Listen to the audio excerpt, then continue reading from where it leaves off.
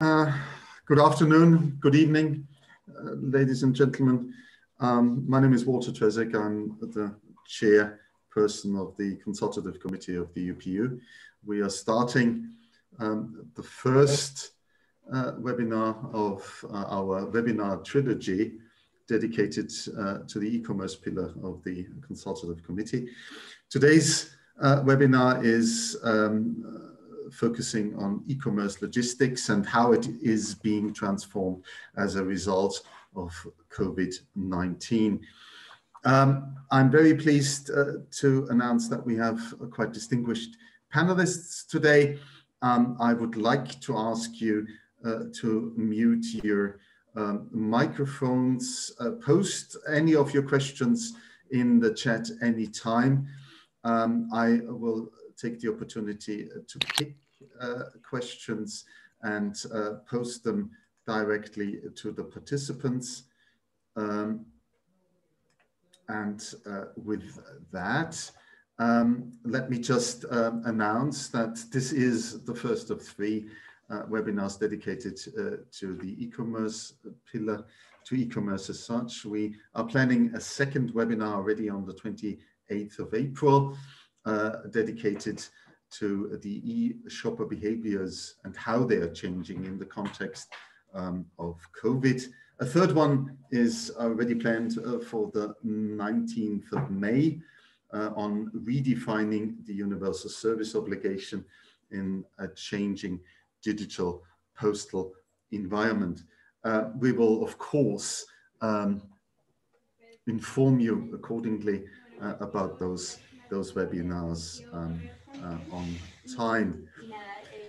I would like to um, welcome our speakers um, and uh, it is a pleasure uh, to introduce the uh, Secretary General of e-commerce Europe, uh, Luca Cassetti, who will give us a keynote um, coming from e-commerce Europe as they conducted surveys on the impact um, of the uh, coronavirus on e-commerce.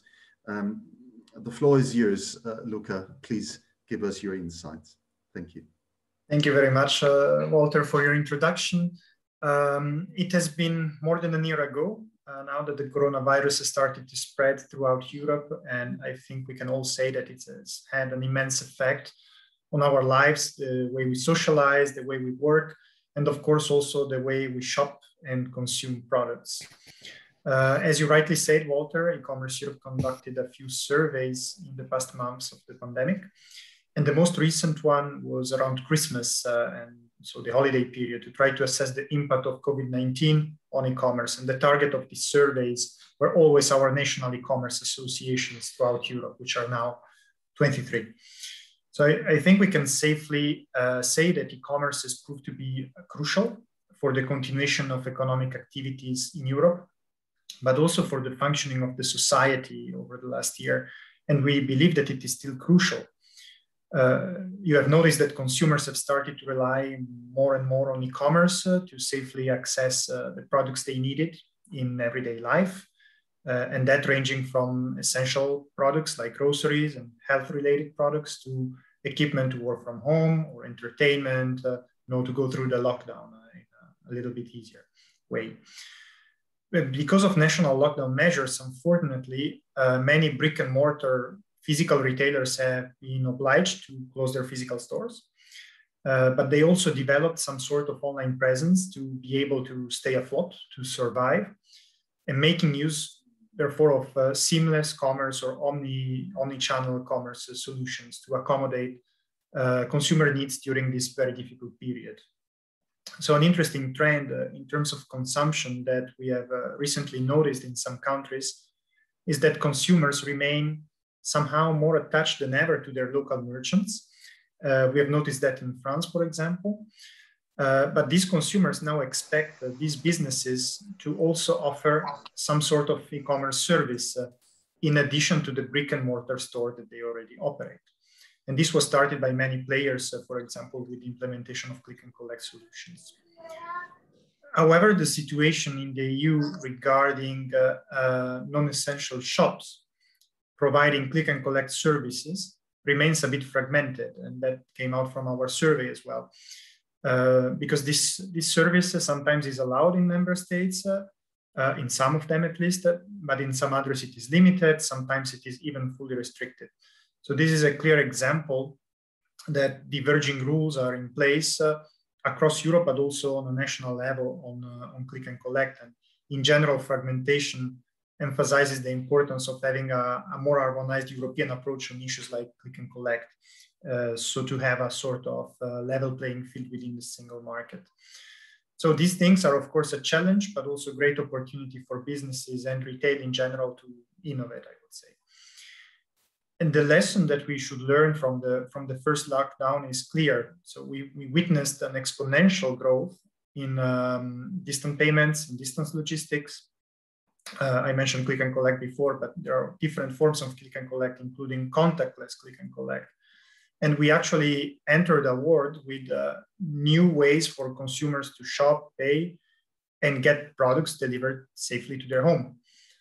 And I'm 100% convinced that this is something that will remain even when the crisis will be over. But it needs more harmonization, it needs more resilience as well. Um, maybe in terms of difference between the aftermath of the first and the second lockdowns, uh, there has been an improvement in the resiliency of the delivery sector, as reported in our last survey. On average, postal and parcel delivery services have better adapted to the second lockdown. There were overall smaller delays uh, um, flagged by our members, despite the increased number uh, of packages to deliver, especially when uh, we, we run our service or around the Christmas holidays. Some respondents to the survey have also flagged the fact that due to um, the combined effects of strict lockdown measures, a shift in consumer behavior towards e-commerce, and the increased demand around the Christmas period, parcel delivery operators had to further adapt, uh, for instance, by opening extra pickup points to manage the increased flow of parcels. So here I want to really mention the great work that has been done by, by the postal and parcel delivery operators over the past months in uh, ensuring that consumers can actually get their orders safely at home. So this is a clear example of how the parcel market is gradually changing, evolving, and adapting to the new situation of increased uh, e-commerce activities. Uh, but an important point that I want to make uh, here today is that at e-commerce Europe, we see the lines between online and offline commerce becoming increasingly blurred because we are moving towards uh, what we call seamless commerce, uh, seamless commerce uh, or omni-channel commerce. So the COVID-19 crisis has really demonstrated, in my opinion, the importance of digital and especially the fact that there is complementarity between physical commerce and e-commerce from, from the other side. And we believe that this trend is set to accelerate also after the pandemic. And of course, the pandemic was a, was a great uh, accelerating factor in this sense. And the shift towards uh, these omni-channel solutions is parallel to a shift in consumer habits and expectations.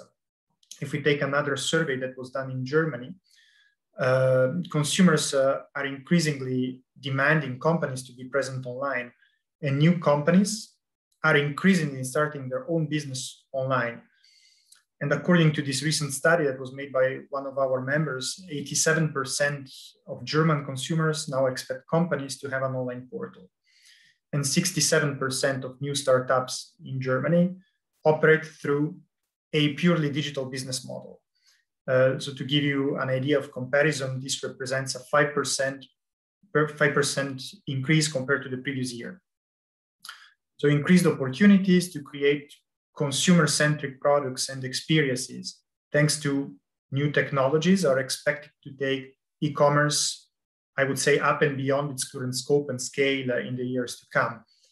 And the online channel will basically reshape our understanding of, of commerce further. Another important trend that I think it is worth mentioning is the shift towards a more sustainable consumption. And e-commerce Europe strongly believes in the opportunity that is offered by the so-called twin digital and green transition. And we actually welcome the work that the European Commission is conducting on you know, the role that consumers can also play in these transitions, because consumers can be an important force uh, in the shift to a greener economy, starting, for example, from the choices they make when they purchase products and services, but more broadly, you know, in adopting generally responsible behaviors, for example, in relation to recycling, sorting of waste, and so on. And that's why we are convinced that the possibility of leveraging digitalization and digital tools uh, to empower consumers can also be an important factor in the, in the green transition. Because digital tools can give consumers better access to complementary information they need across channels, and not only before the purchase, but also after the purchase. And that can happen throughout the, the product's life cycle. That's for the consumers, but as a sector, I think we are also determined to make a positive contribution to, to the green transition. And that not only to meet consumers' increasing demand for, uh, for greener commerce, uh, but it, it is also a strategic business priority for many companies. Um, many innovative solutions are actually being employed already and are still developed in uh, not only European countries, but also abroad. And within e-commerce Europe, what we are trying to do is really to stimulate a little bit uh, the, the knowledge sharing among these companies uh, for example, through the collaborative report on sustainability and e-commerce that we published, uh, I think it was last year in September, and we are planning on updating it this year. Just to mention a few initiatives in this, in this field, AI, artificial intelligence, is increasingly used to plan efficient and greener delivery routes. There is an increasing number of greener green delivery means uh, by bike, by electrical vehicles, in general, I think that digital can allow better stock management and supply chain traceability. Initiatives like digital labeling can reduce the need for paper. Uh, more and more companies are developing uh, recyclable and uh, also reusable packaging in some cases. Uh, and there is an increasing number of uh, e-commerce warehouses without forgetting the, the, the, more concrete fact that maybe digital facilitates also the sales of second-hand products, giving them a second life, actually. At the same time, with, uh, with our work on sustainability at e-commerce Europe level, we are trying to respond to some preconception uh, that sometimes rise around uh, online purchases in general. Uh, for example, the fact that e-commerce has allegedly a disastrous carbon footprint, but if we take, for example, countries like France, uh, according to another recent survey, out of 10 people delivered at home, seven of them actually declared that they would have taken a motor vehicle if they had had to go to a physical store.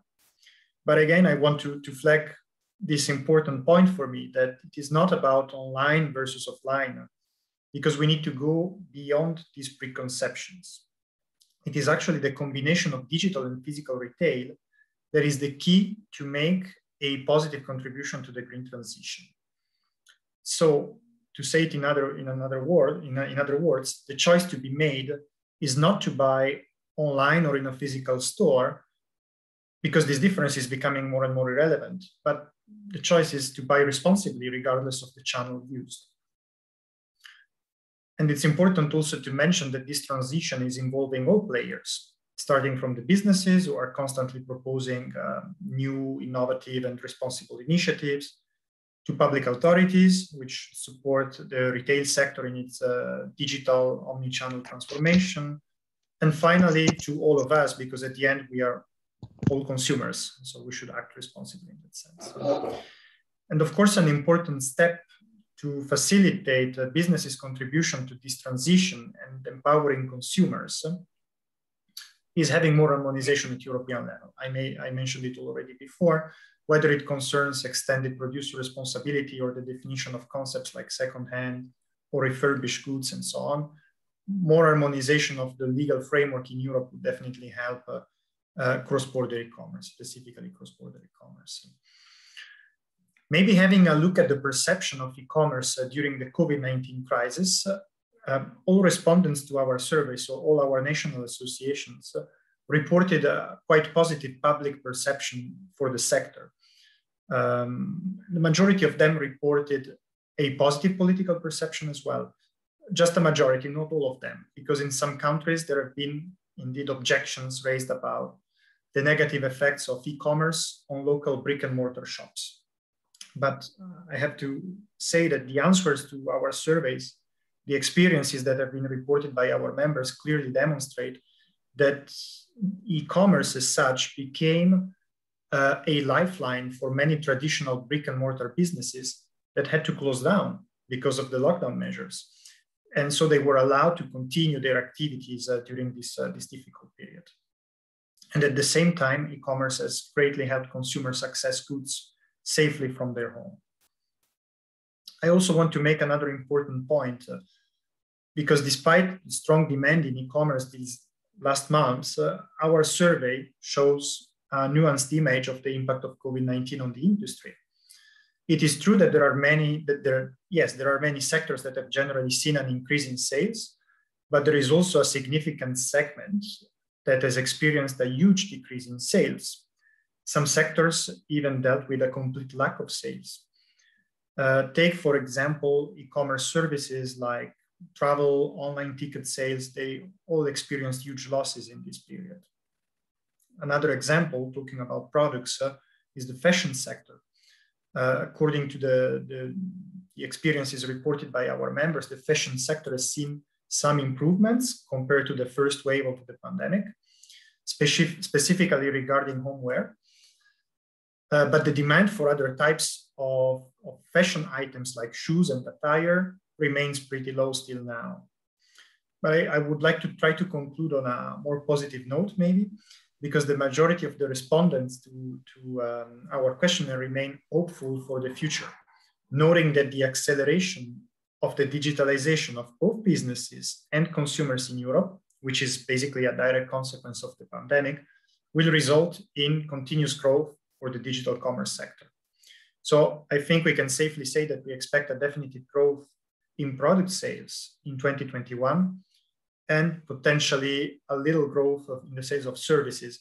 But of course, that's depending on the severity of the COVID-19 measures and how the, the pandemic uh, will uh, evolve. And with that, I would like to conclude and I thank you very much for having invited me today for uh, giving this keynote speech. Thank you very much. Thank you, Luca. Thank you very much. Uh, just one quick question before we move on um, to the panelists. And of course, please please uh, stay online, Luca, because we count on you to be one of our panelists as well. Um, just one one uh, quick question to you. Um, where can the survey you mentioned uh, be found and accessed? And um, is there more uh, information available? Uh, the survey is available uh, on our website. So if you go on e-commerce-europe.eu, you end up in our, on our homepage, and then you have a, a, banner with a direct link to download the survey.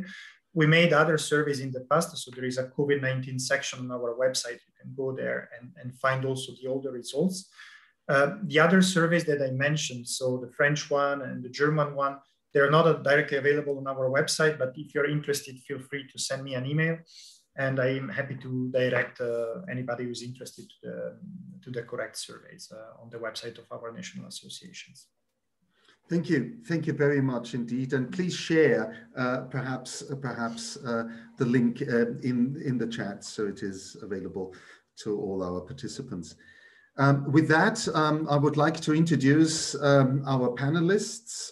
Um, we have now um, a session of um, highly distinguished um, experts uh, coming from various um, areas of uh, e-commerce logistics. And I would like to start uh, with uh, Glyn Hughes, who is uh, the Director General of the International Air Cargo Association, TIACA, which was recently uh, founded. And with that, um, I would like to um, move into um, the uh, session. Cross-border postal traffic uh, has been hit hard when most passenger aircraft were grounded uh, during the pandemic and many destinations were not available anymore. What was it possible to switch to air cargo and replace the missing um, passenger aircraft capacity? What have been the lessons learned during the ongoing pandemic? Glyn, the floor is yours. Great. Thank you very much, Walter. And uh, it gives me pleasure as well to participate in this very important session today. Um, first of all, I have to say congratulations to Luca and his organization for you know, performing a, a fantastic survey. And the information that he presented just in a few minutes was uh, exceptional. And I would encourage everybody to read the report in full detail because it really highlights how the fact that uh, e-commerce became integrated with the stay-at-home economy. Um, it became a lifeline both for businesses and for the consumer as uh, normal consumer behavior was interrupted. Um, and it also addressed the issue of will I be home to, to receive my delivery? So it almost created the perfect scenario to boost the e-commerce growth even further. Um, now, from an air cargo perspective, coming specifically to your questions, Walter, um, e-commerce has been one of the aspects which has helped air cargo volumes to return pretty much to pre-COVID levels. But what we've seen over the last 12 months is a dramatic impact in the actual supply side of the capacity. Historically, as I'm sure everybody on this uh, that's participating today is aware, that about 50% of air cargo would traditionally move in the bellies of passenger aircraft. Those passenger aircraft provided global connectivity, which was exactly what the postal network and the e-commerce providers actually needed, global connectivity with ready available to plenty of capacity. So when you take about 60 or 70% of that capacity away, it has a huge impact on the, the, on the demand, which had actually reduced by not very much. Um, and more importantly, how do you actually satisfy that demand? So we saw two very significant changes over the last 12 months. Firstly, we saw um, freighter networks enhance their utilization and their um, capabilities as much as possible. We saw a number of uh, deferred aircraft reti retirements. Some freighter aircraft that were parked in the desert were brought back into service to try and shore up that lack of capacity. And then we saw something which nobody had actually foreseen, which was the fact that with airlines having grounded about 60 to 70% of their passenger fleets, many airlines actually started mobilizing these grounded aircraft for cargo only operations. And at one point, there was about 2,500 passenger aircraft being utilized for cargo only services. And of that, there was about 300 of those which actually had the seats removed um, so they could become even uh, greater uh, or could have even greater capacity with lower weight. Now that was a way of getting through that incredible um, challenge with regards to the, the capacity crisis. Um, but with the price of oil increasing, it does make the economics of flying those aircraft um, permanently a little bit more challenging. But it is crucial to keep that uh, network maintained. And particularly when I read that, uh, I think it was, and correct me if I'm wrong, uh, wrong, Walter, but about 20% of Post at one point was stranded during the pandemic, which just reinforces the way that the postal system relies upon um, the passenger network, particularly when it comes to Latin America and Africa, where there traditionally hasn't been a lot of freighter networks. So the industry is having to come up with alternative, more permanent solutions to ensure that there is ready access available for the, the e-commerce industry and the postal networks. Um, but one of the challenges that comes as a result of that is the focus on volume. With the volume of capacity, or sorry, with the volume of demand now pretty much pre-COVID levels, but capacity is still significantly down. Every space, every square inch is actually coming under quite a bit of challenge. Um, so I think going forward, there'll probably be, an, and I think this goes to what Luca was saying as well about responsible purchases and looking at the environmental impact. I think going forward, there will probably need to be more focus on things such as volume, volume utilization, packaging. Um, and that's not just outer packaging in terms of um, recyclable materials, etc., but it's also product packaging.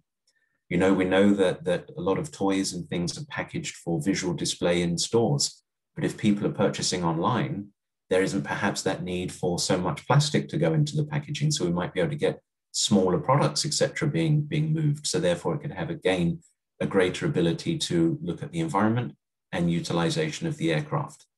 Um, so, you know, I'm, I was trying to touch upon all, all the areas there, and, and I know time is, is somewhat limited, but to, to certainly look at the next three or four years, which is the current forecast timeframe before the passenger networks international passenger networks will be fully resumed, I think there'll be continued challenges in terms of uh, access to capacity for both uh, traditional mail as well as, as it were, the, the more um, modern version of, of the small parcels, which of course is related to e-commerce. Thank you. Thank you, Glenn, um, for your um, first uh, insights uh, on our topic.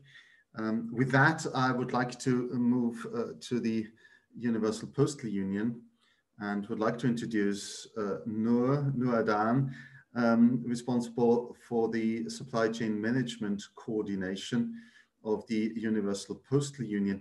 Uh, Noor, um, with the boom uh, of e-commerce, um, the designated operators dominate the market uh, disruption of uh, low weight e-commerce consignments. However, uh, the le legislative landscape and the regulatory requirements for these e-commerce consignments uh, have changed from the 1st of January 2021 with the coming into force of the UPU's electronic advanced data regulations and some national and reg regional legislations, um, such as the US STOP Act and the upcoming um, EU um, ICS2 regulations.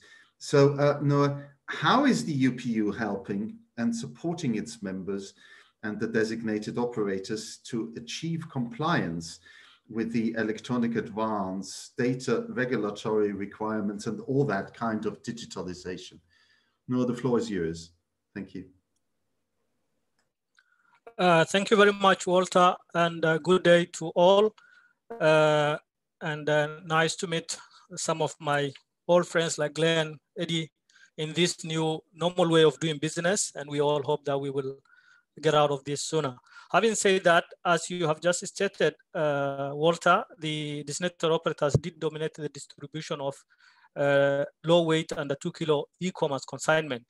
However, uh, the upcoming uh, of the regulations and that are now in force from January 2021 definitely had, and the preparation towards it, COVID did had an impact on that. So as you said, the UPU community definitely knew 2021 was coming as far back as 2005. And therefore, the coming into force of the EAD regulations in 2021, uh, and more specifically January, for the UPU community and the designated operators was expected. The UPU has been preparing for these regulatory requirements and according to the UPU's roadmap for EAD implementation, which was a result of an adoption of the Postal of Operation Council way back in 2015, the UPU established an EAD steering committee to develop a roadmap and the associated milestones for electronic advanced data adoption and implementation. Some of the milestones achieved at the UPU on the regulatory fronts include, first of all, the adoption of the Doha Congress in 2012 of Articles 8 of the Convention on Postal Security, and of course, the subsequent adoption of POC of the associated regulatory provisions. The, another milestone is the development of the global postal model for the Union in response to the emerging uh, EAD requirements. And another milestone is the adoption of the roadmap the guiding principles for the roadmap was to ensure that its efforts help prepare the UPU members for the adoption of the requirements that have now come into force. Uh, the state objectives uh, were addressing several areas uh, and activities. First is the outreach activities to identify the exact nature of the EAD requirements. This, was, this involves engaging with the other stakeholders in the industry uh, and regulators and associations, such as the World Customs Organization, the International Civil Aviation Organization, uh, IATA, the European Commission, and so on. Another main area of uh, work for the roadmap was to build and test, as I said, the global postal model to meet EAD requirements. And this was built uh, to be built and test floor by floor in terms of the messaging standards required and the needs uh, that will come with that. IT systems, solutions, of course, and operational procedures that need to be put in place. Another very important area was awareness raising and capacity building initiatives among the UPU member countries of the need to meet the EAD requirements. And then to support our union member countries, the UPU has several ongoing technical support initiatives, such as the UPU's Quality of Service Common Fund project, uh, namely the EAD Data Capture, Transmission and Compliance Project, in which 143 member countries are currently benefiting from this project and participating. Another major support, as uh, maybe some of you are aware, is from the US Tide Fund, which was earmarked for EAD during the extraordinary Congress of the UPU in Geneva in 2018, I think, 19, sorry. Currently, around 158 DOs, therefore, are already sending the mandatory electronic advance pre-declaration custom declaration for international postal items containing goods. Uh, again, with EAD comes something very important, which is the commercial opportunities that are associated with it. Uh, well, 2020, therefore, was both very important and critical for the UPU, as this was the final year of preparations for the EAD regulation requirements that were then upcoming in 2021. Similar to all other sectors and economies, COVID-19 massively disrupted the planned operation, uh, preparations. However, the UPU community showed resilience and quickly adapted to the situation and uh, therefore adapted to the new normal way of conducting business, which is what we are doing today, online or remote platforms. Between the two main global UPU technical support projects I mentioned, over, over 30 regional online workshops were done in 2020 for all the UPU regions, uh, Latin America, Africa, English speaking, Africa, French speaking, Caribbean, Asia, Pacific, Europe, and, uh, and uh, the Arab region. During 2020, also 135 designated operators received individual remote custom declaration system training and deployment, and we plan to continue with the same for 2021.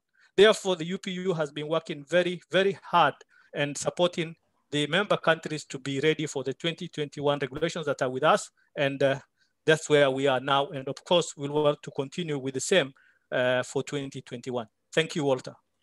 Thank you, Noor. Uh, and please stay online uh, because uh, we will have the pleasure to um, put another question to you, very much related, of course, to the UPU global postal model.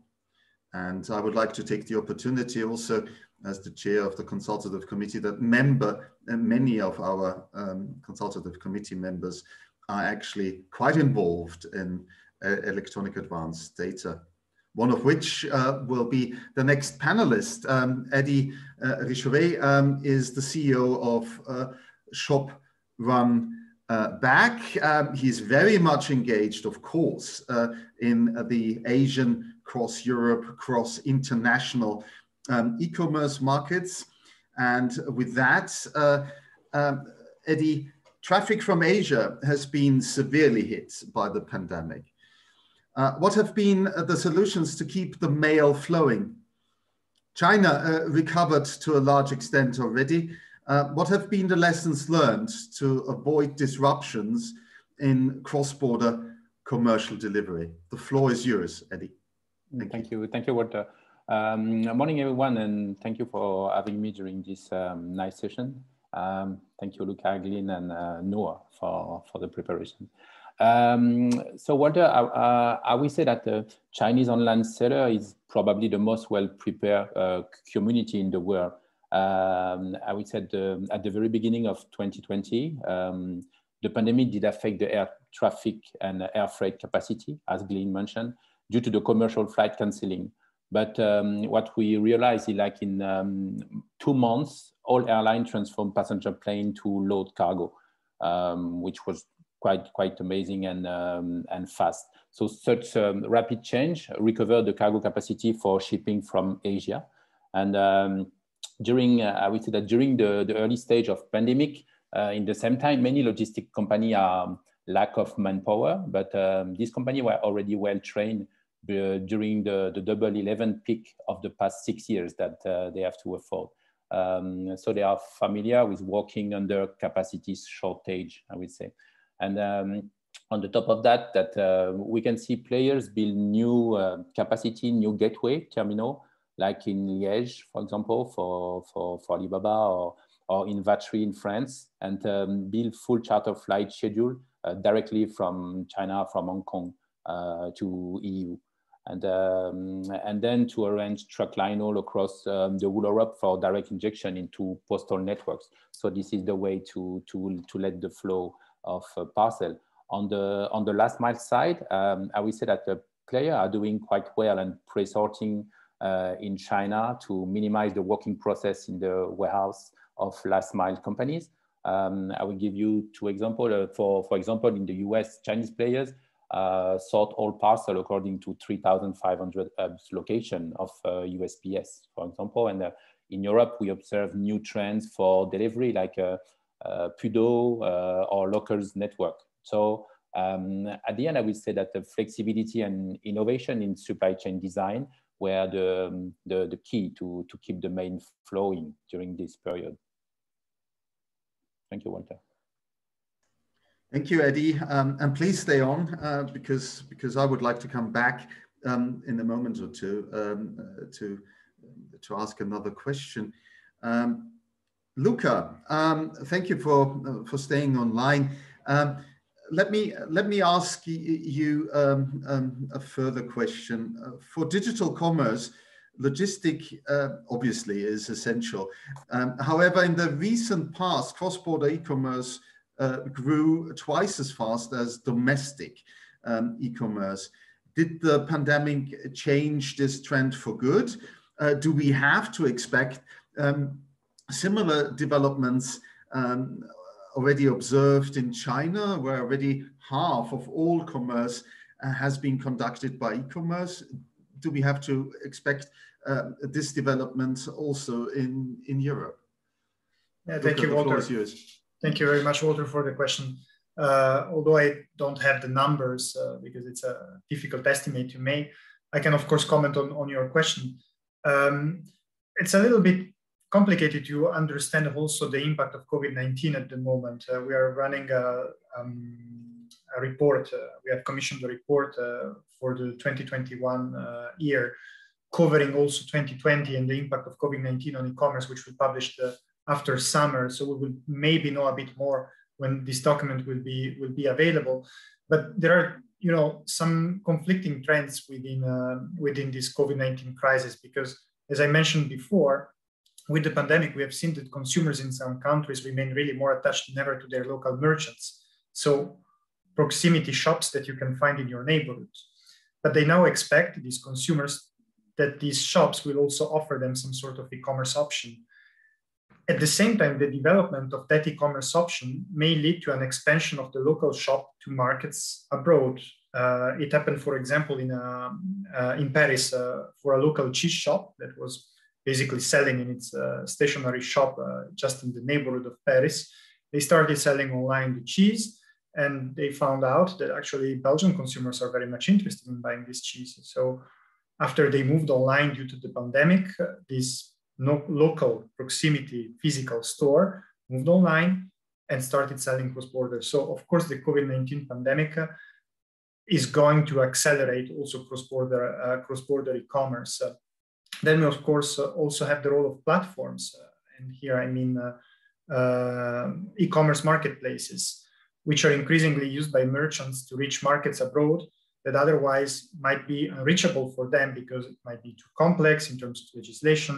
And I don't know, for, for many reasons, there are many reasons for which an SME would decide not to directly sell cross border to a country, but maybe rely more on a marketplace to, to do some of the work for them.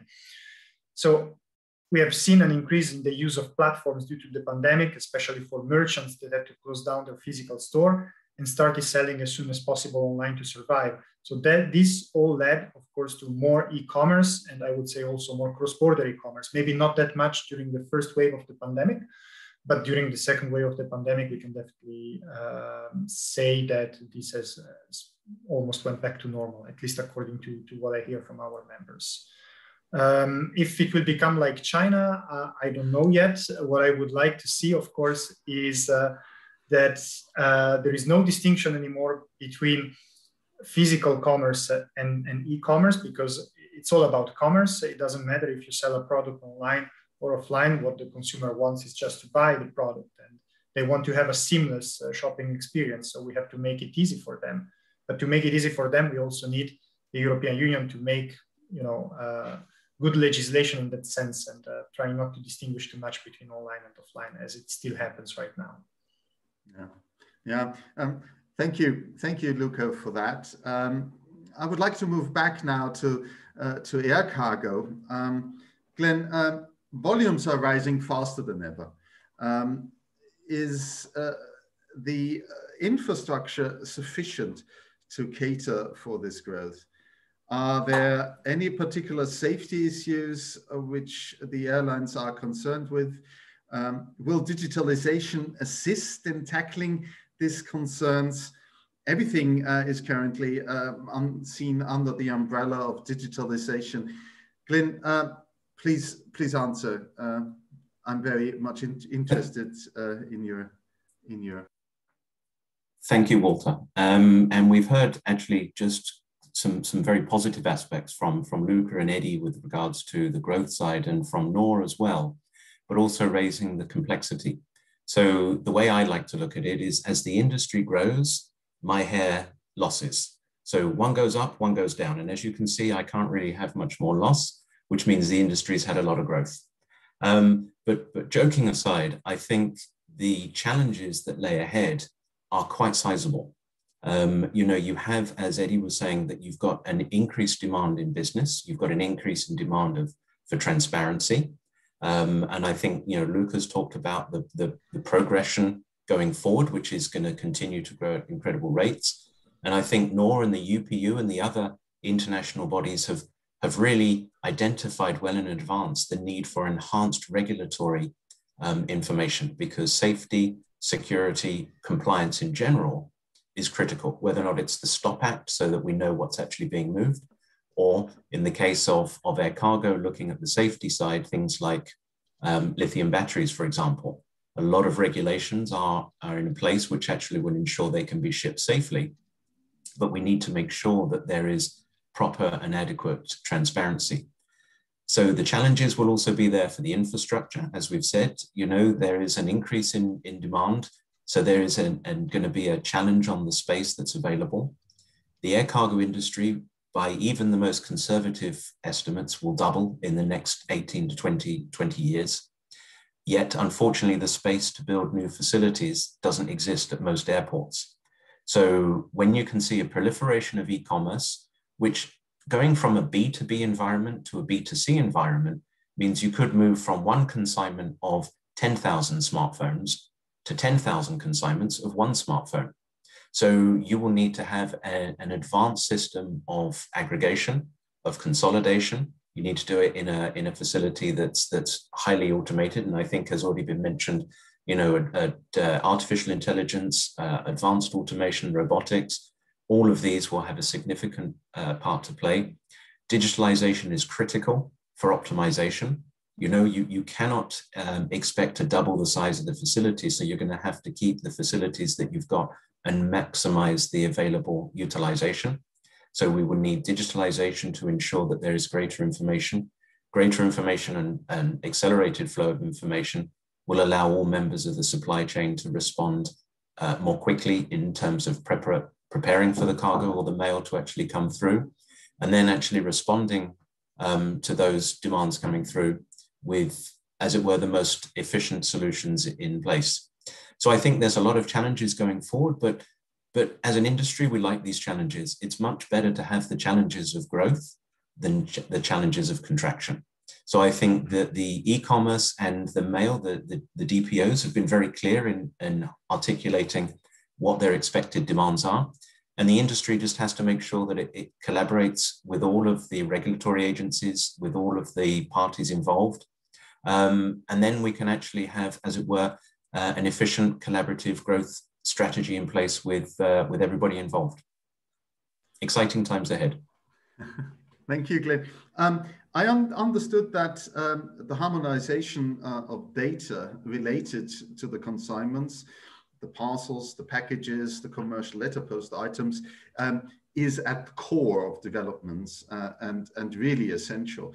Um, obviously, the UPU played uh, quite a significant role um, in, in the recent past there, um, focusing on safety, security, uh, but also on customs and VAT related issues.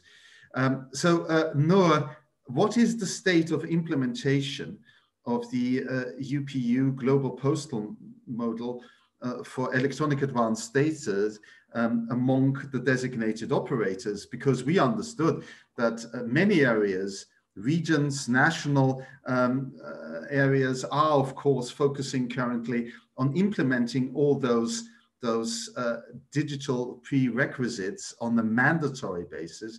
So there is a certain fear, of course, that the e-commerce flows might even be stopped by authorities. Noor, what is the, the state of play? Thank you. Uh, thank you, thank you very much, uh, Walter. And definitely, the state of play is very important. As you said, the impact uh, can be very disastrous. So, as uh, Glyn also mentioned, uh, and one of the main objective and activities of the UPU's EAD steering committee is to harmonize these regulations in, in such a way that they, they, there's harmony and there's no disruption to the global supply chain when it comes to the movement of small uh, uh, small items containing goods. So as I said, the UPU's global postal model was built to address the technical requirements, the messaging standards required for the implementation of electronic advanced data. And the global postal model has eight messaging flows, which are all in place right now. And also the supporting messaging standards the IT systems and the operation, operational procedures are, are, are, all there. Of course, capacity building is one of the main things that, as I said earlier, the UPU is doing to help the designated operators the adoption of the global postal model and therefore to address and accommodate all these emerging regulations that you just mentioned. Uh, although all the eight floors are in place, there are still some outstanding issues that the UPU is working with all the stakeholders to try and address. Some of these include, of course, the EDI standards, the standards uh, and, uh, and the codes between the flows three and four. These are the flows between the customs, uh, especially the destination customs when it is sending back uh, information on referral or notification of, of, a kind.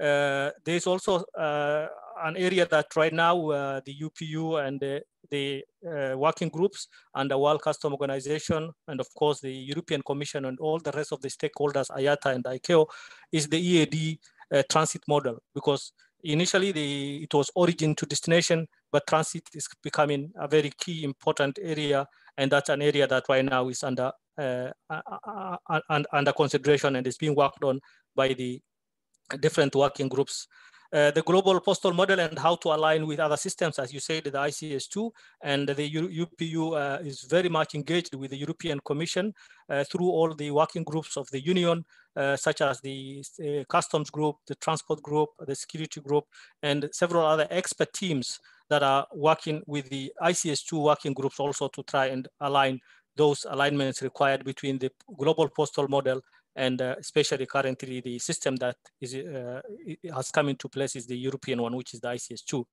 Uh, we are also working on the referral protocols, which is very important, and to build the capacity uh, on how to manage referrals.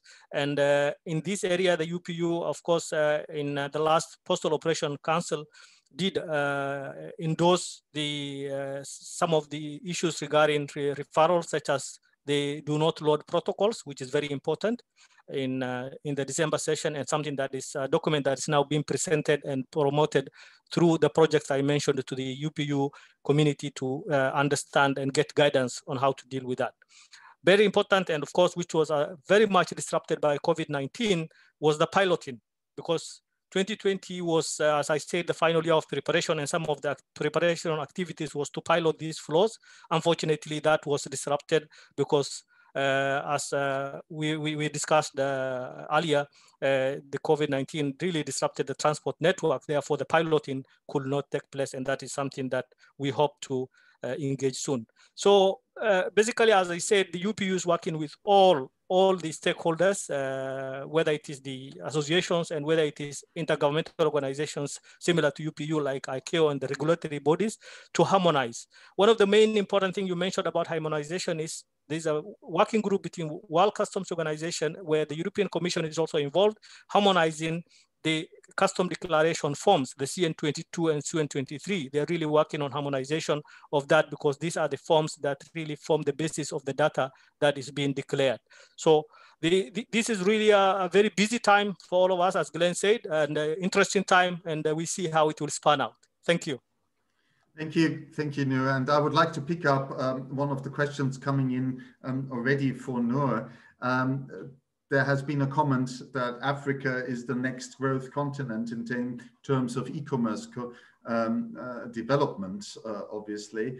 Um, and uh, how uh, could electronic advanced data compliance, um, what role of e-commerce Europe, the UPU, TIACA, and other logistic integrators could play to open the way for Africa as the next growth continent uh, of e-commerce. Noor, could you give us um, a short insight? Thank you. Uh, thank you, thank you, and really very, very important and very nice question. Thank you for that.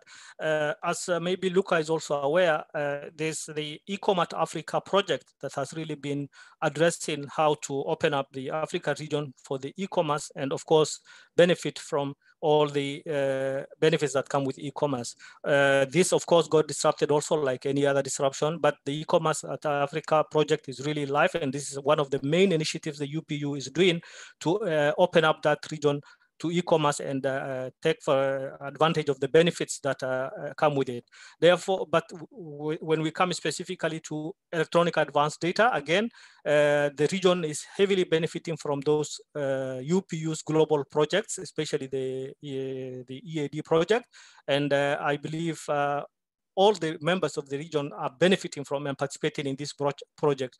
And therefore, a lot of uh, ongoing work to help them build the capacity and the capability to be able to uh, transmit electronic advanced data and benefit from uh, the requirements of the e-commerce consignment that are attracting these regulations.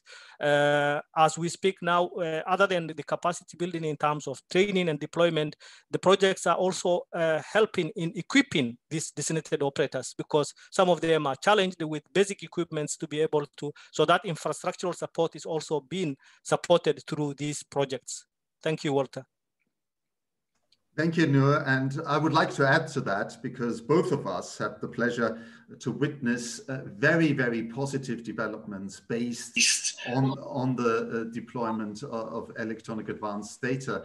Um, only a couple of weeks ago um, in the Pacific uh, region, Vanuatu, for instance, moved up from its previous status of a least developed country, even certain steps up to be a, a, more developed country based on what they established uh, with electronic advanced data and a single customs window fully based on digital means with uh, the help of course not only uh, the UPU uh, but also UNCTAD and others. But there are lots of possibilities emerging through digitalization. Um, so a lot of work has been conducted and a lot of work is uh, is ongoing. Thank you Noor. Um, with that, I would like to move to, to Eddie again, um, because Eddie is also a, a, leading expert on returns management, as well as cross-border fulfillment in e-commerce, um, crossing, crossing continents. With ever rising volumes of low uh, value consignments, is it sustainable to send items back to sellers um, uh, borders, Eddie? Oh, thank you, Walter.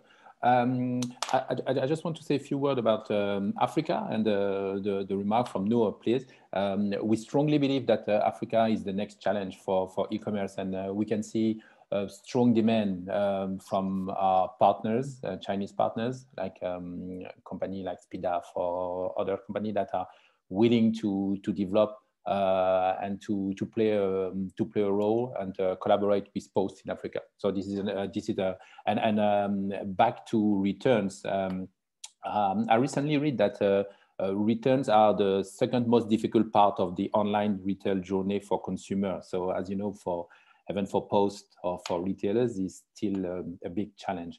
Um, our company ShopRunBack is helping brand multi-channel retailers and logistic players on the on the whole um, uh, value chain of reverse logistics with a tech platform and a key logistics solution optimized for returns.